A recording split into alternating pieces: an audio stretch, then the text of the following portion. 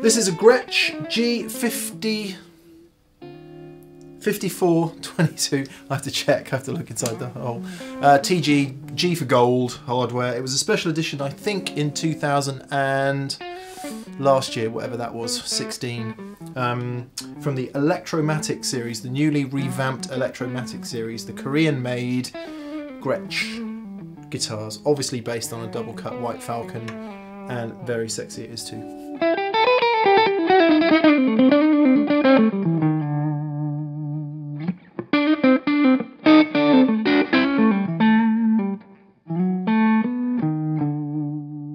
Um, so I was doing some demos on the Andertons channel and they'd just come in and picked it up and played it and thought, that's really nice.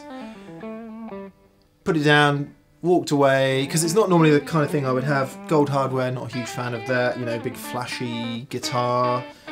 Anyway, and it was kind of like in the head, worming away there, going, buy me, buy me, buy me. So a few weeks later I phoned up and said, actually, is, is that guitar still there? They said, no, no, no, we sold that and I, and I thought, okay,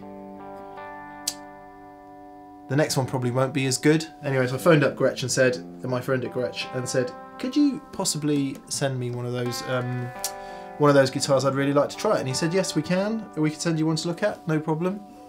And uh, it duly arrived, and it was every bit as good as the as the one I tried in Anderton. So a deal was done, and uh, happy days.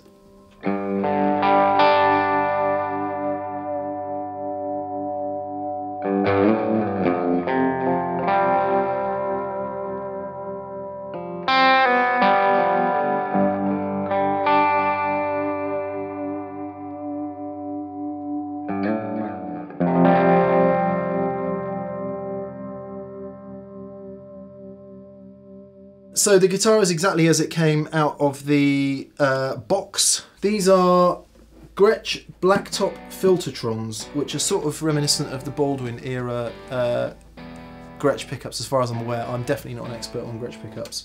Um, but they're called Blacktop Filtertrons. They are humbuckers. They're not very high output.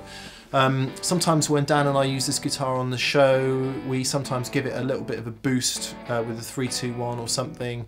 But actually, for me that plays into the guitar into the guitar's favor because it has a very different response and sound from most of my other guitars. But no completely standard.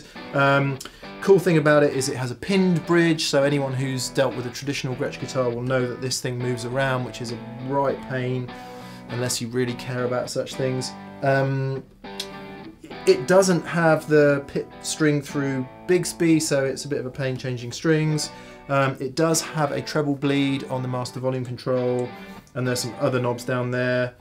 Just turn them up to 10 and use this one.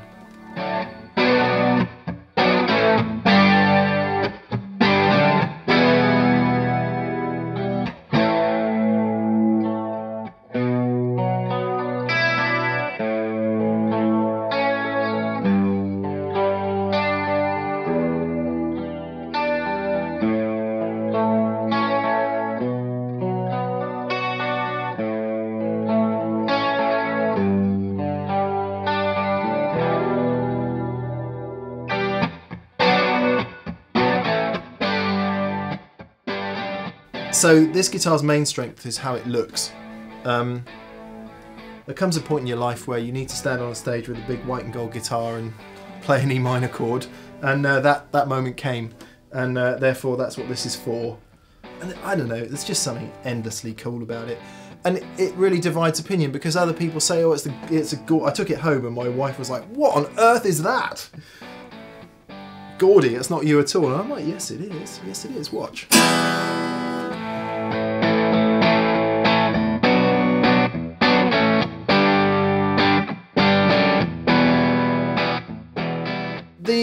One thing that really impressed me about the first one I played was that it was just, it played really well straight out of the box. Um, a lot of Far Eastern guitars really don't, and having worked for years on magazines where they send you a guitar and like fettle it to within an inch of its life before it gets anywhere near you, actually having the um, the pleasure of being in and around Andertons every now and again, you see what they are actually like out of the box.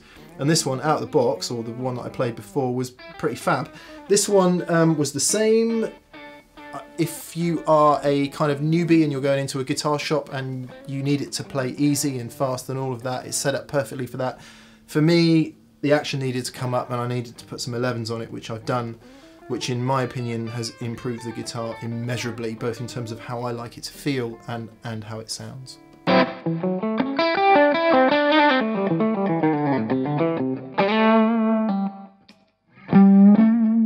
Nope. Uh, I just want to play it more, really, which is the stock answer for that question. Um, no, just want to play it more.